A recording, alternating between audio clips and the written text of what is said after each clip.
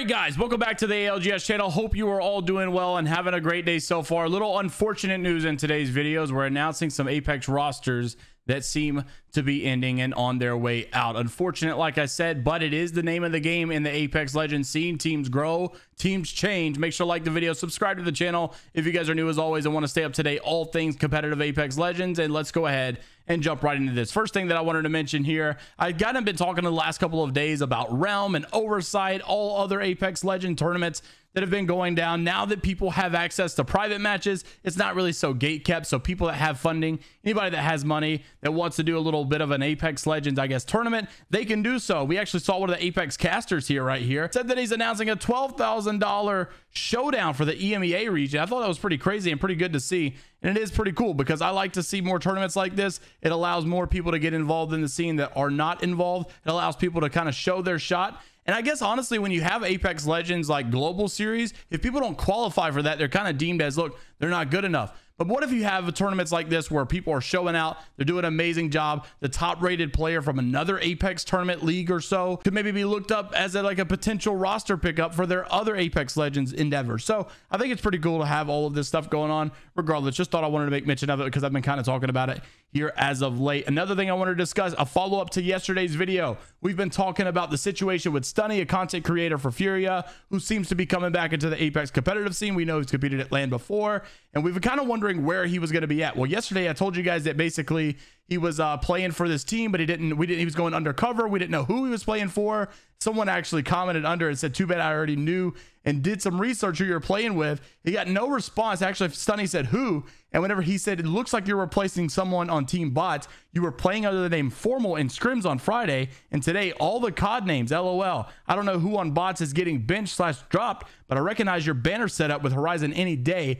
and no one made a response here. So that obviously made it seem like that was going on. Stomp has actually made the official team announcement saying that Jay has decided to step down from the team, and I wish him nothing but the best in the future, whatever he decides to pursue next. Our new third moving forward will be Stunny for Pro League qualifiers and onwards. Excited to see what we can accomplish throughout this year. Stunny also saying, I won't disappoint. So it's good to see him back in this. Hopefully they do well. Best of luck. Best of wishes to those guys. Also had to make mention of this. Another roster update. I think we got two more roster updates that I want to make mention here. Cudnoid actually made this announcement. I saw it on Max uh, Max's announcement straight off, and it was so sad to see. You guys know that Pioneers actually picked up a new third as a sub from Team Furia. Team Furia did not qualify to go to the ALGS in London. So what they decided to do is work out a deal with Furia to get a loan, I guess, from Panders, which is their third, obviously. And they decided to pick him up just in case in the event that Max could not show up. That seems to be the case now as we now have the official announcement coming from Pioneers, basically saying due to what's going on over in Ukraine with the martial law stuff, Max Strafe will be unable to attend the ALGS Split 1 Playoffs LAN event on February the 6th. You hate to see it. He says, We express our deepest sympathy and support for Max and all of Ukraine. As a result, we'll be subbing Panders and appreciate Furia for allowing him to join our roster for the event. We wish Max the best during these difficult times. We ask everyone in the Apex Legends community to get loud for Max during the ALGS playoffs. You hate to see it. I know he's so sad. Even had this official announcement on his thing saying, unfortunately, I did not receive permission to leave the country, missing the fourth LAN tournament due to this military invasion. It's unbelievably unfortunate that that is how my esports career unfolds. Gosh, you hate to see it. This is so sad, and I miss all these incredible opportunities. Thanks for the support, man. This is unbelievably sad. Like, I just can't help but feel so bad for this guy. Mande also said, keep your head up. Everything will be fine one day and you'll be able to show everyone. I hope everybody really keeps this guy around and no one kind of discredits him uh, for anything of this. I almost hope that we keep giving him like these brownie points in the scene and keep boosting him up because we know he should be in places that he can't be and it's just not fair for his career to go this way you know he's got it's something totally out of his control you know so i love to see all the support coming from the pro community here down in the comments. You hate to see that this roster won't be able to compete together. I know max is so sad and i just gosh i can't get over how sucky this is. But regardless that is the roster update that we will have moving into this panders will be playing for pioneers and i hope the best for them. So wanted to make mention of this. This is actually a roster change here that unfortunately will be completely finished. You guys remember over here in the ALGS year two finals and the championships, Team Fennel was actually able to qualify Japanese esports organization. They actually made it as a duo during the state of COVID there, and they had to play as a duo because unfortunately Apex did not have COVID rooms like they should have,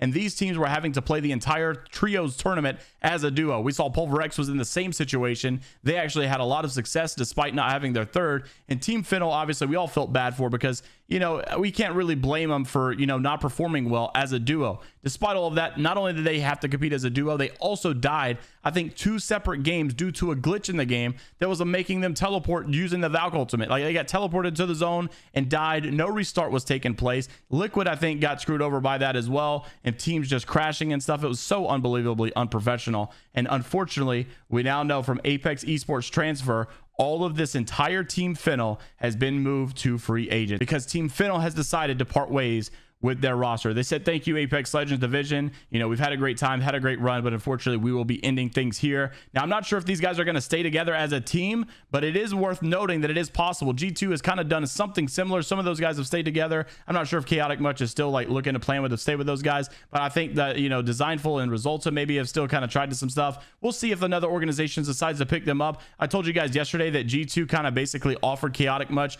another spot on the Apex roster, but to pick up a new roster. So they might even come back into the Apex scene as well. We'll have to see how all of that takes place. And then Cutnoid also saying the competitive roster of Fennel has been released, unfortunately, with the retirement of one of their players. You hate to see it. Never forget this duo run at Champs in 2022 so sad to see how all of this stuff ends. Now, the good news behind all of this is it doesn't seem like it's going to be another org leaves Apex. Cutnoid made this saying, uh, wouldn't take this as another org leaving Apex because Fennel says that they would like to pursue a brand new roster. If you translate this tweet right here, it says, due to the withdrawal of our affiliated players, the Apex Legends division will suspend activities. In the future, we will continue to prepare for the reconstruction of the division and continue to contribute to the Apex Legends competitive scene, including FFL. So you'll love to see that they're not leaving. It's just unfortunate that they decided to part ways with this roster, despite the name that they made for themselves at year two of ALGS. And I also wanted to mention, as we close out the video here, Gnaske saying there's a big issue with controller being strong right now. We know the controller mouse and keyboard debate will never end. It'll probably never end. And I just want to go ahead and say this really quick before I read this.